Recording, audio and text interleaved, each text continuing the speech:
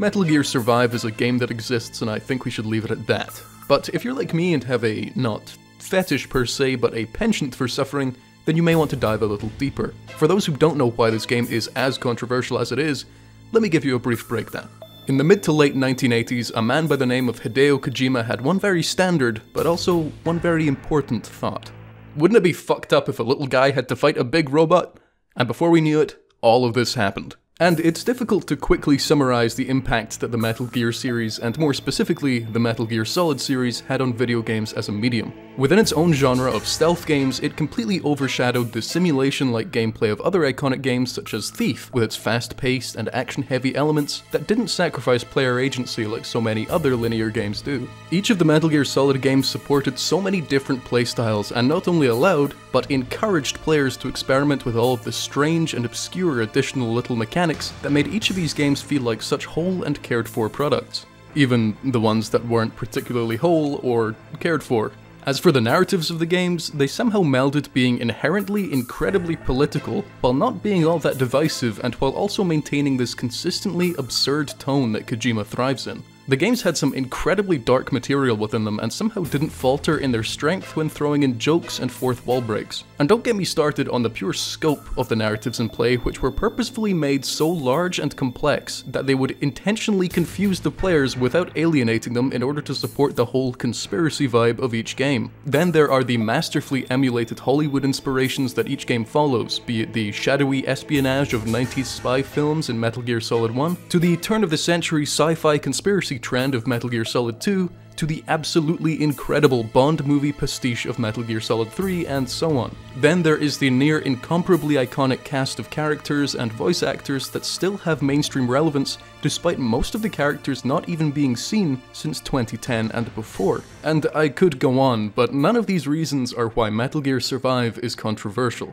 It's controversial because it was released after the leading voice behind the Metal Gear series, Kojima, departed on pretty nasty terms from publisher Konami, leaving behind the rights to the series as he went. And unlike the cinematic single-player narrative action stealth titans that were the games that preceded it, Survive is a zombie game.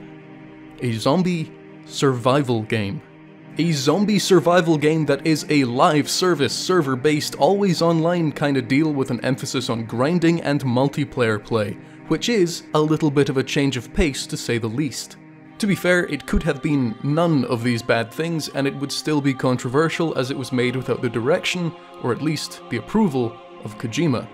But this shit definitely didn't help. Oh, and just as a bonus point of complete public disdain for this product, Kojima was also working on a revival to the Silent Hill series while at Konami, with aid from the legendary film director Guillermo del Toro, in fact, they produced a playable teaser for their upcoming game in the form of PT in 2014. You know, PT?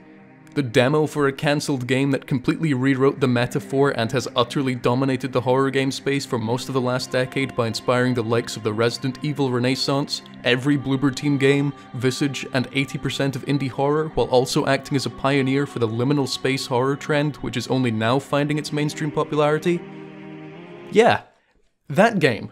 Well, Metal Gear Survive replaced that and the greater Silent Hill reboot as the primary source of horror-aligned media from Konami and its proprietary Fox engine. And again, it's a zombie survival game, a genre which, by the time of the game's 2018 release, was so deeply oversaturated. So yes, in the court of public opinion, it was going to be a difficult task to make this game anything other than completely vilified. So, um, let's start it up. I love starting up a game and being reminded that I can only play it for as long as they maintain their servers, but luckily for us, we get to choose the mortal server that we will be eternally bound to until they turn it off. How fun! Naturally, I picked the elusive Other Europe. If I'm being forced into a games as a service model, then I'm at least doing it on my own mysterious terms. When I started the game, one thing that I was surprised to see was just how similar it initially appears to Metal Gear Solid 5.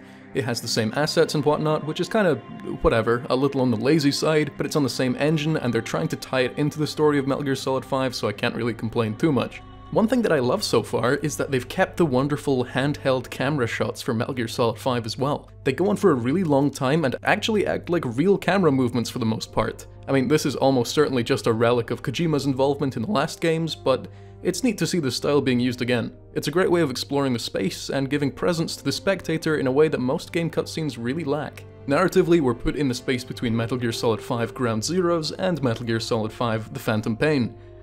Yeah, there were two Metal Gear Solid 5s in case you'd forgotten.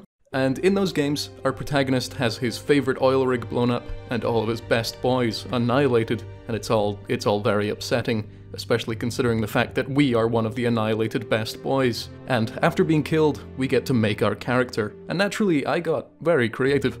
I was gonna be all silly for the video and call him like Keith Metal Gear or something stupid like that, but I figured I can do better. Meet John Metal Gear. He's very polite. And now a man is defiling his corpse. And now he's being sent to hell to fight the undead. I I feel like we're missing some critical information. For those unaware, Metal Gear hasn't had a tremendous amount of zombies or hell in it in the past, so this turn of events is a little strange, but you know, I'll take it. Two very intense men explain that John Metal Gear is a very special boy with some kind of infection that allows him to regenerate tissue and is therefore perfectly fit to go to hell, where the tissue market is crumbling. One huge narrative green flag that I ran into early on was a mention of the Philadelphia experiment. The Philadelphia experiment was a fictional test by the US military to find out if they could do funky stuff to boats, like make them invisible because, you know, that's just that's just cool. But the boat they use ends up teleporting around and the folk inside of it get fused to the metal and whatnot in horrible ways and it's all very inconvenient. This is how they explain us being pulled into a giant wormhole that drags us to hell. The two are somehow connected. Also, shout out to Snake, who, despite having all of his boys just killed and his main base of operations annihilated, didn't even do a double take when escaping to notice an enormous portal sucking up what remains of his friends. Anyway, the reason the whole Philadelphia experiment mention is a green flag to me is because Metal Gear has, on several occasions, taken real or speculative historical events and used them in its own narrative, and this is just a continuation of that trend. However, it's also a red flag, because we're teleporting to hell. Now, the Metal Gear games are kind of batshit insane as it is. Giant mechs, nanomachines, the entirety of Metal Gear Rising Revengeance, and many other notable oddities exist as core parts of the lore, but this feels like jumping the shark. There exists a line in my brain somewhere between Metal Gear Rising and Metal Gear Survive, which separates one as being completely acceptable and the other as being utterly absurd, and I can't quite tell you where that line is. Anyway, once we're in Hell, we meet our main antagonists, the Wanderers. They're just zombies with geodes baked into their skulls. I mean, there is more to them, but I don't really care to explain, just like the game doesn't really care to explain either. Once we're into the gameplay itself, I'm afraid to say that the performance is absolutely abysmal. If you're wondering why this video is in 30 frames per second rather than 60 frames per second like most of the others on this channel, it's because I'd much rather show you a consistent 30 than an inconsistent 60, which this game is rife with. And that's a real shame because Metal Gear Solid 5 ran beautifully on my PC, at least the PC that I actually recorded this gameplay on, I since broke that one, that's a whole story. Um, anyway, yeah, Metal Gear Solid 5 ran beautifully on that PC and was one of the best looking and performing games I've ever played. But here, it's chugging all the time and there's this weird fuzz around everything like we're in some kind of furry train and I'm just, I'm not here for it. Anyway, our main objective is to collect stuff and save people. It may sound like I'm oversimplifying it, because I am, but they explain it in the same verbose way every other Metal Gear game does with its objectives and lore, except in this one, they're not actually saying anything. At least in the others, there was a lot of character in the dialogue, and it was clear that there was a strong narrative to follow. But in this one, you can tell from the get-go that they just want to push you out into the world and have you inconvenience some rock zombies. And yes, as I said earlier, this is a survival game. There's crafting and hunger and thirst and strict stamina limits and... Ugh, what else is there to say about that? I don't know if this is a hot take in the year of our Lord 2023, in the script, I originally wrote 2022. That should tell you how long I've been working on this. But these things are just plain annoying if the game isn't explicitly built around them. Oh, you want to go kill some zombies? That's cool, but are you hydrated enough? You want to crouch for a while? Make sure you neck that goat milk before you go on, or we will yell at you. This is also one of those games which has incredibly lengthy, unskippable menu tutorials, and with my incredible luck, I managed to get a network error, which kicks you out of the game, when putting on a funny hat before the game was able to autosave. So I had to sit through all of those menu tutorials twice, and even remembering this makes me feel like there are ants in my skin, and not in a good way. Also, when I got that error, I had to restart, and I was greeted with one of the ugliest screens I have seen in a game since at least 2006, so kudos on making this revolting piece of eye trash. Despite the endless tutorials, the game itself is trivially easy at the start. Watch me get caught in a big chase scene. They're certainly trying their best. I mean, I'd do no better if I had a rock where my brain should be, but this doesn't make me feel very sportsmanly. Unlike the animals that you have to hunt for food, you can sneak up on them, shoot them from afar, run and hope you can ready your weapon in time to attack them before they flee, or alternatively, you can do this. You can punch them so hard that they pass out, and then you warp them into the meat dimension. This is absolutely my favorite part of this game, without question. Where do they go? Why do I receive their materials? To be honest, I think the real meat industry works in a worryingly similar way. But yes, the actual enemies, the non-animal enemies, are stupid as hell and very easy to either run away from or just kind of trick using geometry. That is, until the defense missions appear. They kind of thrust them on you, unlike everything else so far, which has had extensive and largely unnecessary tutorials, and the first time I encountered one, I foolishly forgot to pack my six steel wire fences which I have since learned are the single greatest defensive inventions of the human epoch, and I was forced to watch as dozens of lads stumbled towards this teleporter thing and destroyed it. These defense missions seem to be the bread and butter of the game as well. I'm both disappointed and glad about this. Glad because I won't spend the entire time just running away from things, and disappointed because I actually have to play the game. On more than one occasion, I was thrown into one of these defense missions without being given much more warning than, do X when you're ready, which could have meant a dozen different things, but no, apparently my base is now being assaulted by wormholes full of zombie war criminals. And once I try again after placing the holy wire fences, my base has a very strange and sinister vibe to it. Even stranger when the zombies start coming again. I, I feel very guilty about this and I don't know exactly why. But yeah, these defense missions are long. Having to defend something for 6 minutes doesn't sound like a long time, but that's a very context-heavy amount of time. 6 minutes of this video would have felt like an eternity to some, and to others, you know, smaller eternities. 6 minutes in the context of Metal Gear Survive is pretty hefty indeed. And one thing I love in any kind of defense or escort mission is when you have to successfully defend something for a lengthy amount of time, only for some narrative act of God to fuck things up completely and make your attempts utterly redundant. What's that? Your thing exploded at 5 minutes and 59 seconds? That's despicable. It was meant to explode at 6 minutes and 3 seconds after a brief cutscene. at least I can take out my frustration on some donkeys.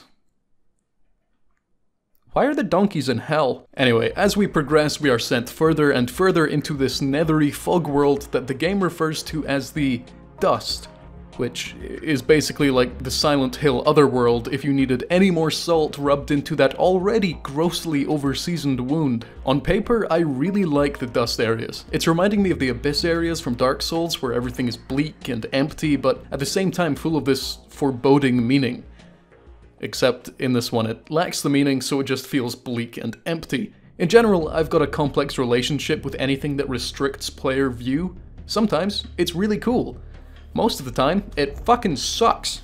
I'll let you decide which side of the spectrum this game falls into. A lot of the time the game uses this endless fog to hide the fact that it has shamelessly reused assets from Metal Gear Solid 5, but again, whatever, I'm not too bothered by that. As long as they aren't needlessly reusing exact maps and whatnot, then I'm not too bothered. There's bigger fish to fry. Why is there a whole lot of Afghan architecture, much like the stuff you'd find in Metal Gear Solid 5 in Hell? Who knows? It's zombie time. While walking through the dust, you'll occasionally, and I do mean occasionally, find vehicles that can be used, and honestly, they are an absolute blast. They make the dust feel like, well, not shit, as you can zoom through the world and see much more of the reused Metal Gear Solid 5 landscapes than you could when relying solely on your squishy yet delectable human limbs. Also, check out this walker gear. I love him. This is a rare example of fun. But this game is, well, this game, and it must remind us that having nice things is an utter impossibility, as the vehicles all break or otherwise degrade incredibly quickly. Plus, throughout the entire game, I found a grand total of about three vehicles. So putting them in here at all was a choice, for sure, and a very cruel one at that. It's not every day a game blatantly showcases its own lost potential as hard as this one does. I really felt the scarcity of vehicles when I had one mission that made me cross the entire map to rescue some guy, which I successfully did, but I failed to activate the fast travel point right next to him, so I had to go back to the main base, leave the guy I was meant to save behind, and then travel back again because otherwise I would have to carry him all the way through the dust where he'd probably die. Oh, and when I got there, the game disconnected from the servers again and I lost all of the progress and Steam couldn't sync my save file with the cloud. Remember folks, games as a service is the future. It's just a shame the future ended in 2023. Oh, also, having to do this part completely over again gave me ample opportunity to find this entire village area that was ripped straight from Metal Gear Solid 5 and planted here without any real changes. So, yeah, they are just verbatim reusing the maps. Great. Okay, let's take a quick break and look for some positives. I had one genuinely brilliant moment while doing one of the many, many defense missions where I could, very vaguely in the distance, hear a thudding. A thudding that got progressively more intense to the point where I was convinced I was going to see an enormous monster or uh, some other flavor of big foe. At the end of that defense section, I found out what it was. It was nothing. Still a cool moment though. Also, kind of out of nowhere, all of the NPCs start talking as if we're at the end of the game. They're all saying we're about to head home and we're going to have to make one grand last stand as we power up the plot device or whatever. The game then utterly terrifies me because, for whatever reason, expanding the base to add more defenses and resources triggers the cutscene that teases the final defense before you've had a chance to prepare for it. It did this when I had nothing set up, and the only working armament between myself and everyone else in the base was a single spear. But it turns out to be nothing other than a really strangely placed plot point that doesn't lead to anything. But this intended scare freaked me out so much, to the point where I wanted to go and do something less stressful for a while. I go and fight a bear. It ends in a Pyrrhic victory. Realizing that, much like in real life, the combination of a misleading cutscene and a single bear was almost enough to unravel all of the work that I've done, I thought it'd be best to stock up on supplies. And according to the internet, the best place to get materials in this game is in the multiplayer mode. Now, before we get to the multiplayer section of the video, I'd like to jump to our sponsor, which is a new thing for this. Um, and that sponsor is me. Hello. As some of you will know, I've started streaming fairly regularly on twitch.tv forward slash Painticus. Uh, we're currently in the playthrough of a very heavily modded Elder Scrolls 4 Oblivion game, which is... It's It's been something so far. And we've also just wrapped up playing the new Dead Space remake, the VODs for which are all available on my second channel, Painticus Archive. And yes, thank you. Oh, also, on Twitch, um, I use a I use a face cam, which is big news. So, to quote one of my favorite people, if you're curious about what I look like in real life, head over to twitch.tv forward slash painticus and hit the follow button to find out. If any real sponsors wanna wanna jump in here, they can. I uh, I do need the money. Oh, look at our patriotic boy. Where the fuck are we? Did they just forget to add a co-op zone so they left us in the Assassin's Creed loading screens? Uh, whatever. Let's queue up for a match. By the way, I'm very upset that I don't show up as John Metal Gear in the lobby. It, uh, doesn't exactly feel like this game is poppin' with the EU kids anymore.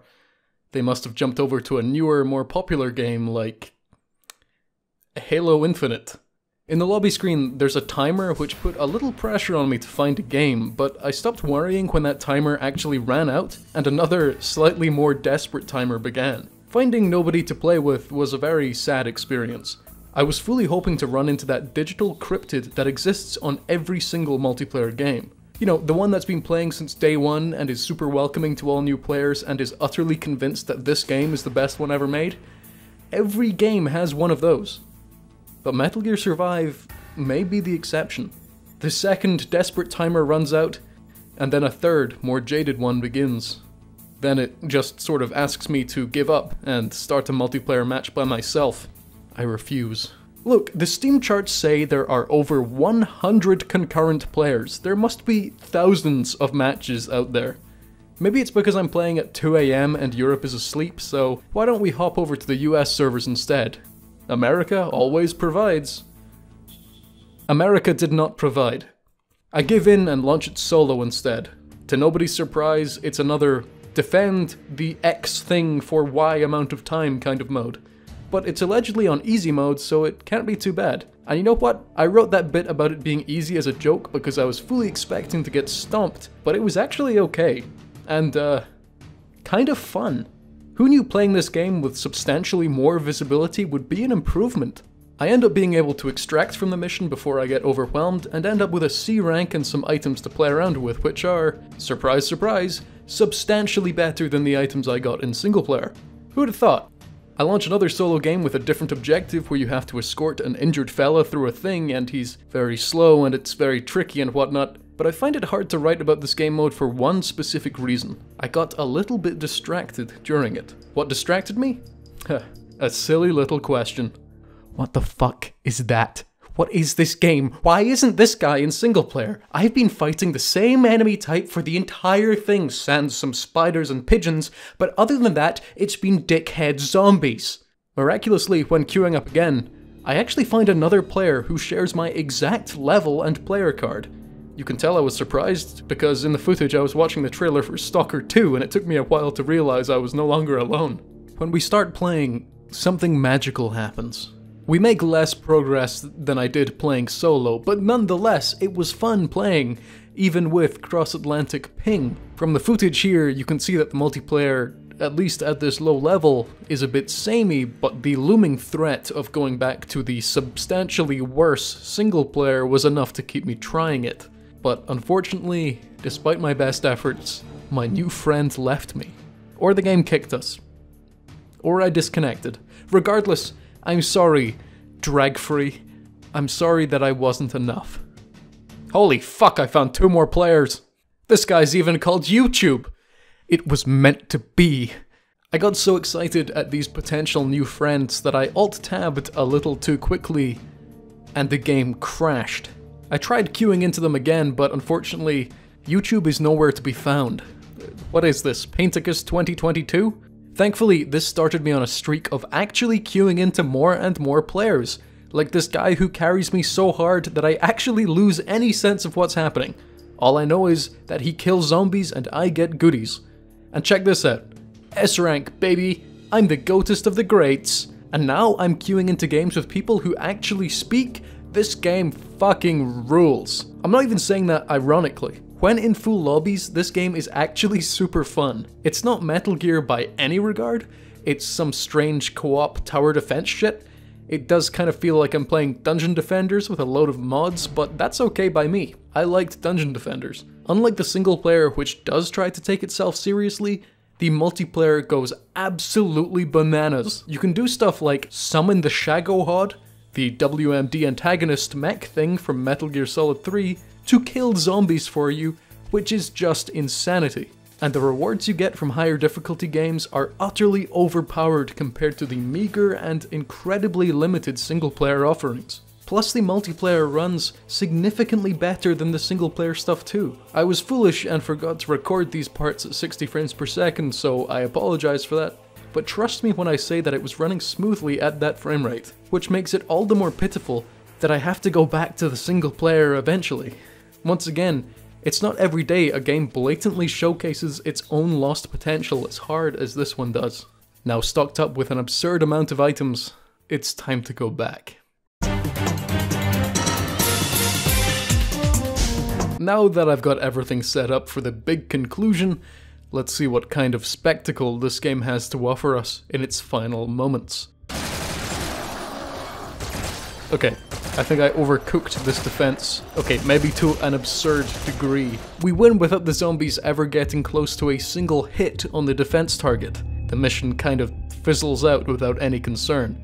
Now is an important time to introduce the game's main antagonist, who I failed to mention so far. Not because it's not a notable character, but because I didn't really know when to introduce it before. Have you seen the film The Mist? The film based on the Stephen King novel? You know the enormous creature from that? Yeah, that's the antagonist from this game. Let me introduce you to the impeccably named Lord of Dust.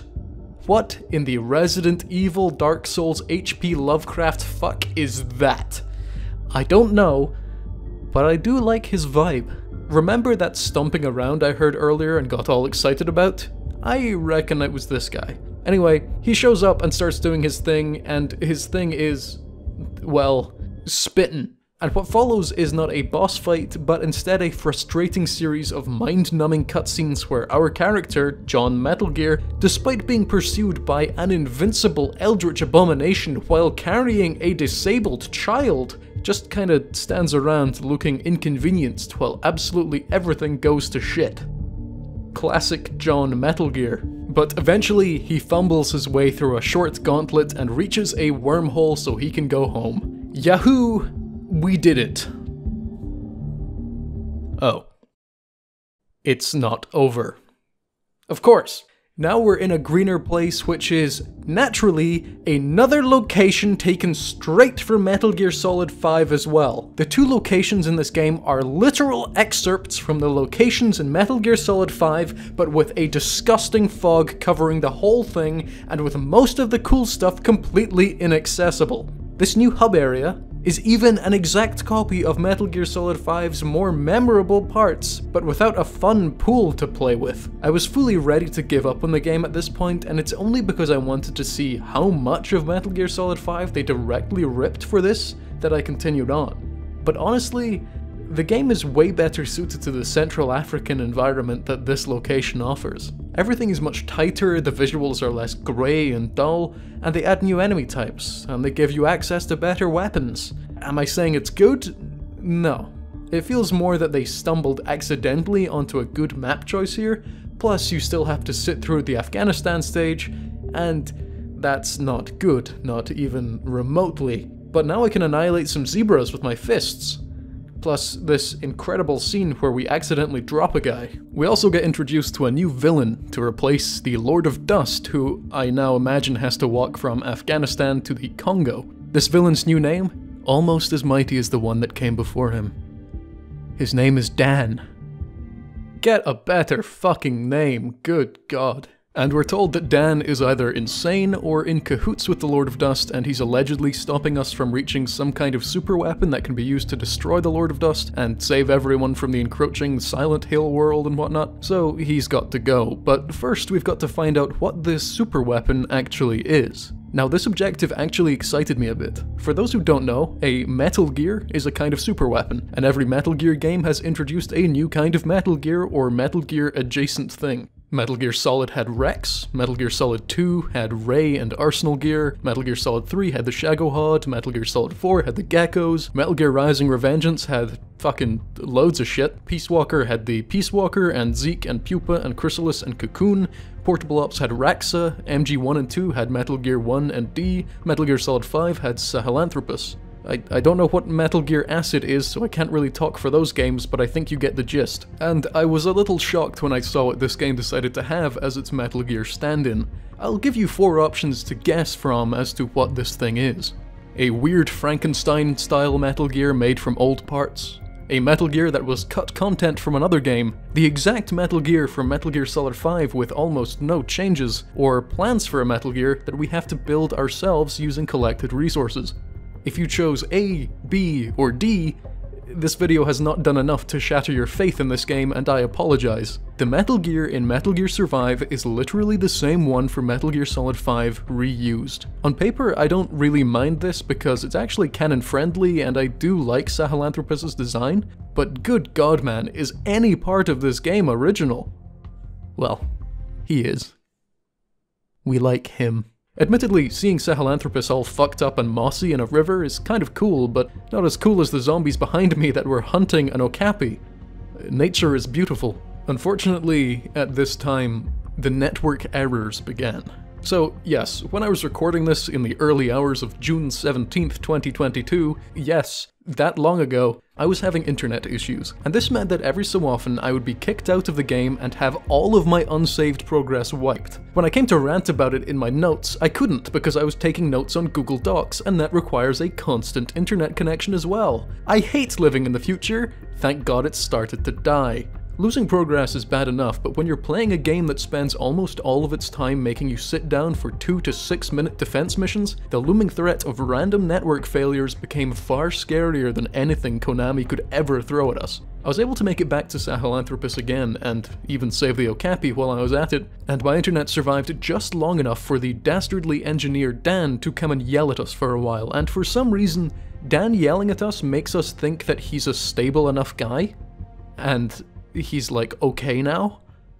I, I don't have the mental fortitude to question it, so we just move on. Next up, we have to defend a portal machine that's meant to suck up Sahelanthropus and send it back to our base, which is fine, I suppose. At this point, I've sat through a dozen, if not more, of these 2 to 6 minute defense things, so what's one more going to do to me? We begin the mission and... Oh. This is a 15 minute defense mission. We have to defend this thing for a quarter of an hour when my internet has been cutting out the entire time. 15 minutes may not sound like much, but count it out for yourself and picture that time being spent on Metal Gear Survive. Now it's starting to feel like a while, right? So yeah, I'll consider this the game's first boss fight. Not against zombies per se, but against my ISP and the concept of games as a service. And miraculously, on my first attempt, with absolutely no damage to the portal lad, we manage it. I can chalk it up largely to the massively overpowered weapon I got from multiplayer. This little sprinting combo thing that I did wiped out almost all of the enemies, and when I got bored of that, I had enough grenades left to trivialize the rest of it. The only real challenge are these big lads that don't let you insta-kill them and have guns for arms, but again, I learned that a single grenade takes them out, so I got past those pretty easy too. Honestly, I was expecting more trouble from this, but uh, nah, it was okay. Still, 15 minutes of pretty mind-numbing stuff, but hardly the worst thing I've had to do for this game. And our reward for completing this Herculean gauntlet of endurance, our kid friend gets kidnapped by our mustache friend and it turns out Dan was the good guy all along. I guess that's what we get for dropping him earlier.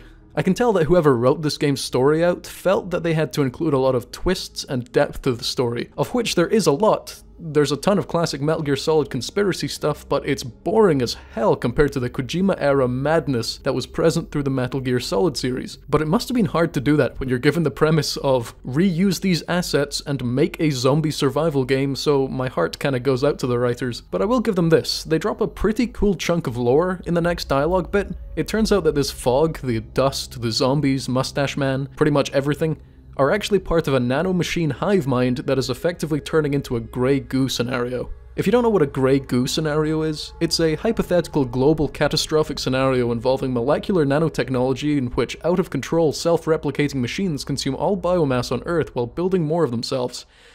And yes, I just read that straight from the first paragraph of the Wikipedia page. In simpler terms, Hungry robots make more robots until everything dies or turns into robots. Another game that played with this idea is Deus Ex Invisible War, so Metal Gear Survive has some very prestigious peers. So anyway, we go and fucking mark Mustache Boy in what can only be described as a fight, and then we get more lore dumps that tell us that this isn't hell or a different dimension or anything like that, and it's actually the future of the regular world, and that the Lord of Dust has been using wormholes to travel back in time, creating a time loop that allows it to get stronger each time, but now we're turning into one of the zombies, and just a, a whole bunch of other shit. Basically, they're trying to make the Metal Gear Solid 5 asset reuse make sense, but in reality, they've just implied that time travel is a thing in the Metal Gear canon now, so that's yeah, okay, that might be a step too far even for Metal Gear. It also suggests that in the future, the only things that are worth seeing just happen to take place in the exact same locations as Metal Gear Solid 5, and only the tech for Metal Gear Solid 5 actually survived, so it's all very convenient. Regardless, the Lord of Dust is now coming and we have to do some hell busy work before that's allowed to happen. I won't bore you with more of the same because the last two objectives before the final mission are just the same shit we've done a million times, so let's just skip to the conclusion. With my base now set up as a bizarre maze of wire mesh and farms, we're now ready to begin. Will we survive? Will we get to go home? Will the Lord of Dust die? I don't know and I don't really give a shit. It begins. And let me tell you, this is far and away the best part of the game. All of these terrible defenses I set up, turns out it was completely useless as the game just gives you a huge pre-made set of defenses slightly outside of your base for you to use instead. And now we have some wave-based combat. It's split into three distinct sections, and honestly, it's a blast. Rather than being timed, like the game's previous challenges, this one just wants you to kill everything and they give you the tools to do so. Mortars which are incredibly satisfying, machine guns that mow down crowds, brilliant fence placements that really create a sense of a horde approaching, and during all this, the Lord of Dust is just kinda sat behind you like, no, don't kill me lads, them's me lads. And then we shoot him with a railgun. I had a tremendous amount of fun here. Even if the difficulty was all over the place, one of the sections I fully believe could have had me doing absolutely nothing but watching, because there were these like fire traps that just killed anyone that touched them. But on another one, if I didn't actively kill everything myself, I was completely fucked. Still, an excellent time, and it's such a shame the rest of the game is not like this whatsoever. Using Metal Gear Solid 5's versatile combat systems with environmental interactions, tons of different kinds of equipment, and a really cool set piece surrounding it all is fantastic. But instead of that, the rest of the game is us in a foggy place putting up fences and scrounging for materials. Anyway, we uh, we shoot the Lord of Dust and it, it doesn't work. So uh, now he's going to invade Tampa, or whatever the hell that is. And it turns out that the Lord of Dust is incapable of dying because, and just get this, it has no understanding of what death is. Which, while nonsensical, is metal as hell. Oh, you don't want to die? Just forget what death is then, idiot. Then there's a, a, whole bunch of lore dumped on us while the world is about to end in classic Metal Gear style, I must add, where it's revealed that the kid we've been carrying around for the whole game is actually the past version of the guy that sent John Metal Gear to this place uh, in the very beginning, and that is undoubtedly, without question, a twist. Now, I do have to admit a slight fault on my end. While I have been very good at recording things for this game, I did forget to record a fairly crucial part that being the game's ending. So the person pictured here is absolutely not John Metal Gear. We can only assume he died quietly off screen, now damned to be forgotten by history. Rest in peace, Mr. Metal Gear. But to summarize what's going on, an AI assistant we've had for the entire game sacrifices itself to teach the Lord of Dust what death means by just flying into him, which is kind of funny, and you're like, okay, chill, and then you shoot it and kill both of them, and the game makes it seem like this is a hugely emotional moment, but I do not care in the most remote amount about that computer. All it has done is tell me to remember to eat and breathe and not run too much. Honestly, every time your stamina gets to a certain threshold, it's like, Captain, please remember that you can't have too much fun. So yes, I hold no fondness towards it. And that's where the story ends. The Lord of Dust dies and the game has the gall to play the Peace Walker theme, which is a whole can of worms in itself, and oh, oh good, the AI guy actually survives. Great but we're still in hell, and there's still dust and zombies around, so in actuality we've achieved a net zero in terms of progress over the entire game, which is... it's poetic, in a way. Now, I usually do a little wrap-up section at the end of these videos where I go over some final points or summarize my feelings, but uh, nah, not today. If I left you with a feeling of this video being a full product or a worthwhile end-to-end -end experience, I would be doing the subject matter injustice. Did you know that Metal Gear Solid 2 Substance had a skateboarding mode? Now that's a good Metal Gear spin-off. I do wish I'd touched the Metal Gear Survive multiplayer when it was popular though. That was genuinely a good time even if it's very repetitive, and I feel like I was only able to scratch the surface of it and that's likely all I'll ever be able to do because god knows how long they're going to keep support for this game going. And perhaps as a bigger concern, who's still going to be playing this game for any extended amount of time in the future? Now, I suppose one question worth asking is, What's more worth your time? This game, or the game that I spoke about Wow, the script says this time last year. It was not this time last year. Fallout 76. That sounds like a strange question, but both came out in the same year as always online multiplayer focused spin offs to major franchises that nobody asked for. And to answer that question, I hear Metal Gear Solid 2's skateboarding is really good. Thanks very much for watching and for being very patient with this video. More videos are coming soon and they're going to be made much faster than this one for sure, but if you want anything more from me in the meantime, um, like I said earlier, Twitch is a thing I do, with a face and whatnot. Uh, and there's also Twitter and Discord if you want to see me struggle to interact like a normal human, and both of those are linked in the description. But, uh, yeah. That's everything. Thank you. I've completely forgotten how to end these videos.